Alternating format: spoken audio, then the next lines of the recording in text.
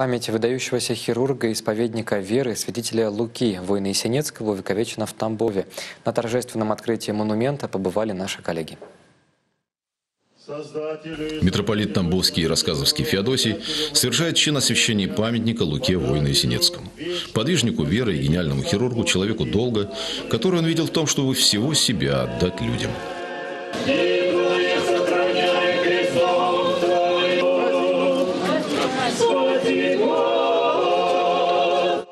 Памятник работы краснодарского скульптора Александра Аполлонова установлен на улице Комсомольской напротив деревянного домика, где в годы войны жил великий целитель.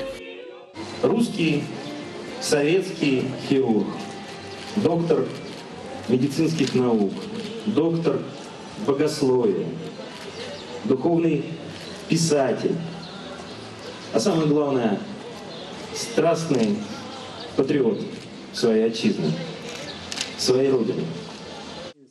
Скульптор запечатлел архиепископа Луку, который задумался над книгой в минуты отдыха. Таких мгновений воина Есенецкого в Тамбове было совсем немного. Он консультировал хирургов тамбовских госпиталей, оперировал по несколько часов в день, открывал закрытые до войны храмы и сам служил в расположенном неподалеку Покровском соборе. Его работоспособность вот просто поражает. Он очень много успевал сделать. И принимал, и операции делал, и людей на дому принимал, и службу э, в церкви вел.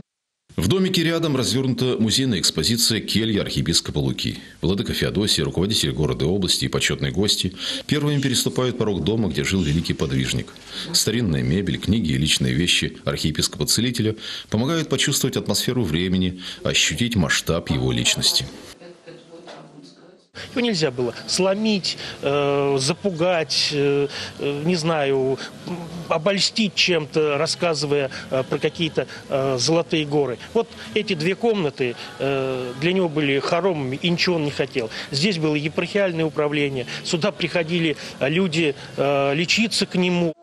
Архиепископ Лука внес неоценимый вклад в разработку новых методов лечения гнойных и воспалительных заболеваний.